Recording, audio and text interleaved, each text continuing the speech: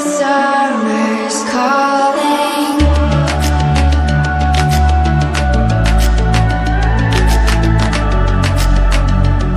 The summer's calling. If the kingdom's overthrown, meet me at the cornerstone. I know that I can't be without you. This bond is solid gold. We're a diamond and an emerald. It took me forever to find you.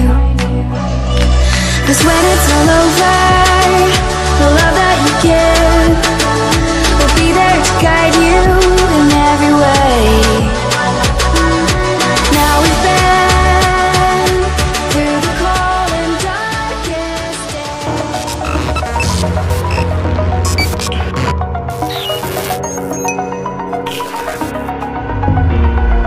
Assalamualaikum warahmatullahi wabarakatuh. Kembali lagi di channel Fiction Motif Shop. Kesempatan kali ini akan kita bandingkan Motor mana yang paling bagus dan yang paling nyaman Kelebihan dan kekurangan masing-masing ya. Eh, Untuk kali ini kita akan bandingkan dari segi biaya modif dulu ya. Jadi eh, untuk biaya modifnya dari tiga ini yang paling mahal yang mana bisa teman-teman komen sendiri menurut teman-teman paling mahal mana? Nanti tinggal di komen aja. Kita bandingkan dulu dari segi tampilan. Untuk tampilan paling bagus teman-teman suka yang mana? Bisa komen juga. Ka- kalau saya paling suka yang ini ya yang gold. Terlihat ngejreng mencolok. Tapi kadang biasanya ada juga yang suka simpel-simpel aja. Itu tergantung selera juga paling bagus ini kalau menurut saya. Kemudian kita coba paling nyaman kita coba naiki satu-satu dari sebelah sini ya. Ini posisi ridingnya sangat santai karena pakai stang seperti ini. Kalau buat jalan jauh ini dia pasti lebih nyaman dibanding yang ini ataupun yang itu ini stangnya lebih enak. Buat pilot masih aman. Dan kita coba bandingin yang ini. Vision modif R15 tapi pakai stang standar Vision. Ini buat belok masih cukup banyak juga. Cuma agak mentok sedikit ini karena stangnya ini agak naik. Kalau pakai stang yang kayak itu mungkin lebih nyaman kemudian untuk posisi riding ini juga masih nyaman karena menggunakan postep ori juga. Yang itu postepnya masih ori juga jadi masih nyaman. Buat pengereman juga masih maksimal. Ini kurang lebih seperti ini posisinya buat belok-belok masih cukup enak. Kemudian yang ini yang ini dia stangnya lebih nunduk ya. Jadi kalau buat jalan jauh ini lebih capek. Buat belok ini masih nyaman aman juga.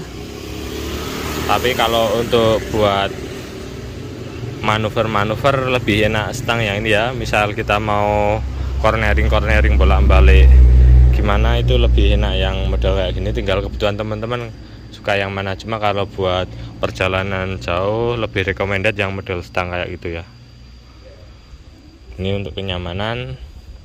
Kalau saya kenyamanan yang ini buat jalan jarak jauh. Kemudian untuk bagian mesin ya ini kita lihat. Kalau ini asli R25 mesinnya ya sudah cukup bagus mumpuni juga untuk buat jarak jauh juga tenaga sudah mantap kalau ini mesinnya masih pakai mesin friction ya. Menyesuaikan bodi juga buat jalan juga masih enak juga. Cuma kalau kencangnya kencang ini ya cc-nya 250 ini 150 kalau yang ini friction modif H2 nya ini mesinnya udah upgrade 250 cc juga ini udah nggak kalah sama yang itu ya.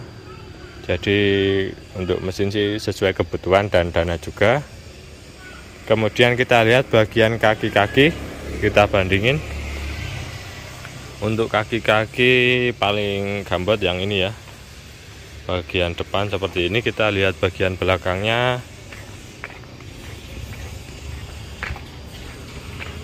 Bagian belakang juga paling gambot yang ini paling kekar.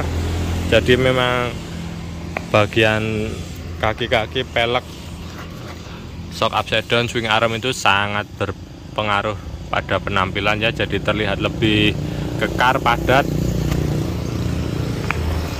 Yang ini ya kecil kelihatan. Nah, ini kelihatan besar. Hmm, jadi sangat terlihat lebih kekar kalau kaki-kakinya itu lebar. Cuma kelemahannya nanti di kecepatan itu tuh otomatis dia lebih berat ya untuk angkatannya tapi itu tergantung setelan untuk gearnya ya. Kalau gearnya ini dibesarin untuk tarikannya juga otomatis lebih ringan. Cuma nanti top speednya pasti berkurang ya.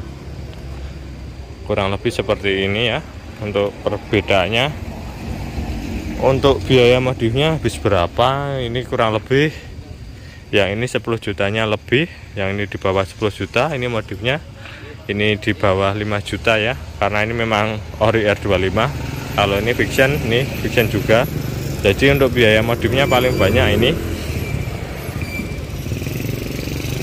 Kurang lebih seperti ini. Tinggal teman-teman mau modif seperti apa motornya seperti apa bisa sesuaikan kebutuhan ya. Terima kasih sudah menonton video ini. Jangan lupa tekan tombol like subscribe channel Fiction Madif Shop. Terima kasih. Wassalamualaikum warahmatullahi wabarakatuh. Fiction Madif Shop salam satu aspal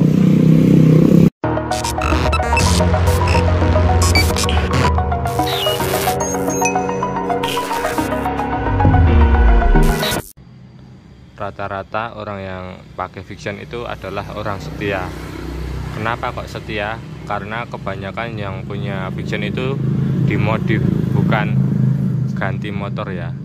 Jadi ini bisa dimodif menjadi ini ya.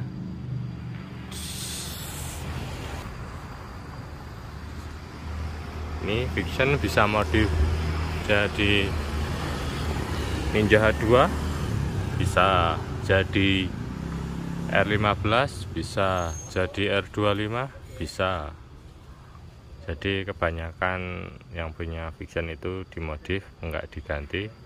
Jadi dari itulah yang punya motor fiction itu orang yang